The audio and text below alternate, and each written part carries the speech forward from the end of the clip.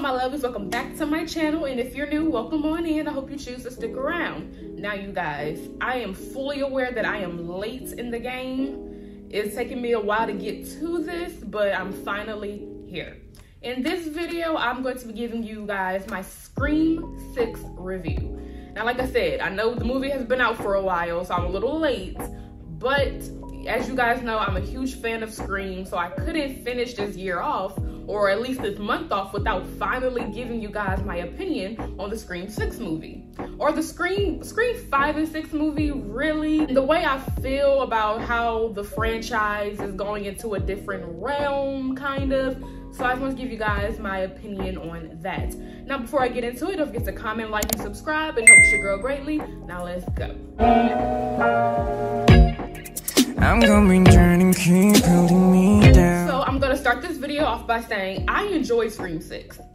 Overall, as a movie, I think Scream 6 was a pretty well-made movie, well-done movie, well-acted movie, all of that.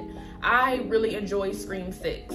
I believe Jenna Ortega and Melissa Barrera, I hope I'm pronouncing that correctly, but I believe they bring something new and fresh to the franchise and they are slowly becoming some of my favorite final girls. Like, I'm really enjoying their performance in these movies so far. I think they're doing a phenomenal job. I think they're doing a great job at carrying this franchise. Not not saying they're the only ones carrying it because I think the whole uh, final four are great.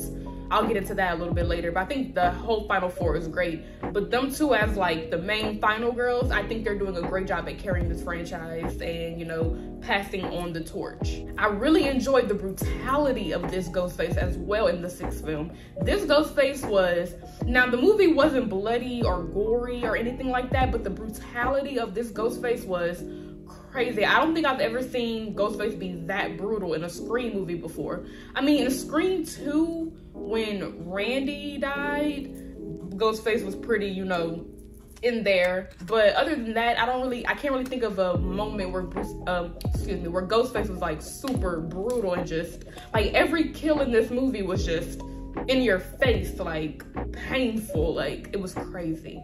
It was crazy. I really enjoyed that the core four survived.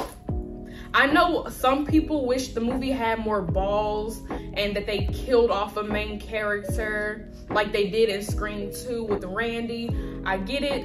And to this day, you guys, I am still pissed that Randy died. I'm still pissed about that. So I prefer my final, um, like the core four, I prefer them to all be alive. Now in the future, they decide to kill off a main character. Hey, that's their decision, obviously. But for me personally, I like that the core four survived. I like all my main characters to be there with me. I want to finish the journey off with all of my main characters. So yeah, I'm still pissed about Randy, so I'm gonna talk about it every chance that I get. I think they did a really good job of using New York as a setting I think that was a great job on the production team's part and the scenery people's part. Um, I like that it wasn't in Woodsboro anymore. I like that we have a change of scenery and they used New York really well. I especially love the subway scene. I think they did a really good job at shooting that. So I really love the new setting, the new area that we're in. My last two positives of this movie is that the movie is still very meta, which works for this franchise. You know, that's their thing. Scream movies are known for being very meta, so that works for them. And this new cast of characters, especially the core four, they are very capable of carrying this franchise in like even in the future. So even future movies that we get of Scream, I think that this core four are very capable of carrying this franchise. So if we don't have so I know it's a big thing with Neve Campbell not being there, which I mean, Neve Campbell is Scream. Like when you think of Scream, you think of Neve Campbell. Like the two things you think of when you think of the movie Scream is Ghostface, that mask, and Neve Campbell, Sidney Prescott. So I completely understand people's hiccups about her not being in the movies. Now, if she decides to come back eventually, like in future movies, I'm all for it. I love Neve Campbell. I'm always down to see Neve Campbell. But even if she doesn't come back, if they can't figure out their disputes or whatever the case may be, I think that this new cast of characters, they are very capable of carrying this movie in the future. I'm okay with Neve Campbell not coming back. Like I said, she is going to be greatly missed. When you think of Scream, think of Neve Campbell, but if she decides not to come back, I think that'll be okay. And plus, this movie is going in a whole different direction anyway. Like, we're getting a whole new cast of characters, we're getting a whole new change of scenery. It's just this movie is moving in a different direction. So, I think it might even be better for us to stick with what we have now, the core four, and just let them make it their movie, you know, like let them be the stars of this movie now. So that's just my opinion. Now onto my negatives. Now, like I said, overall, I loved this movie. This movie was great. Enjoyed it. So my negatives really aren't that big of a deal. It's just some things that I felt like, eh, I could have done without.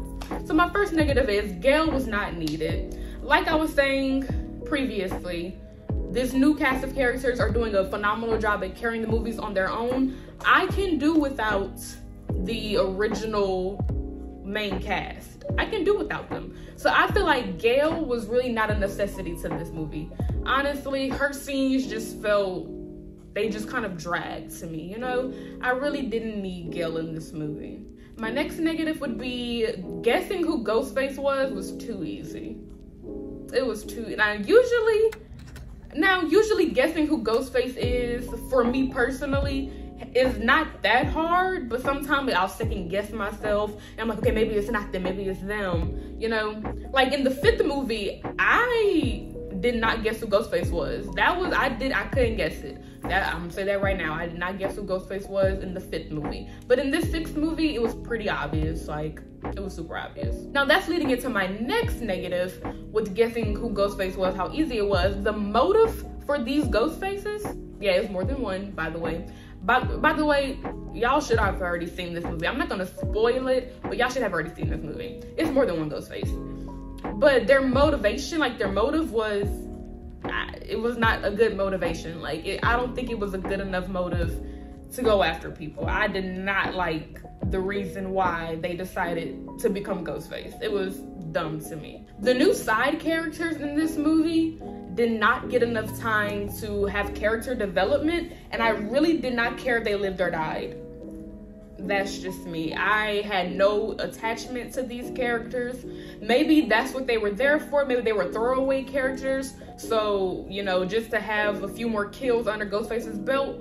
But yeah, I really didn't care for these new side characters. They weren't all that to me. Well, you guys, that concludes my review of the Scream 6 movie. I hope you enjoyed this video and let me know down below in the comments how you felt about this movie and what's your rating of it. I'll give it an 8.5 out of 10 and I'll see you in the next video. Bye.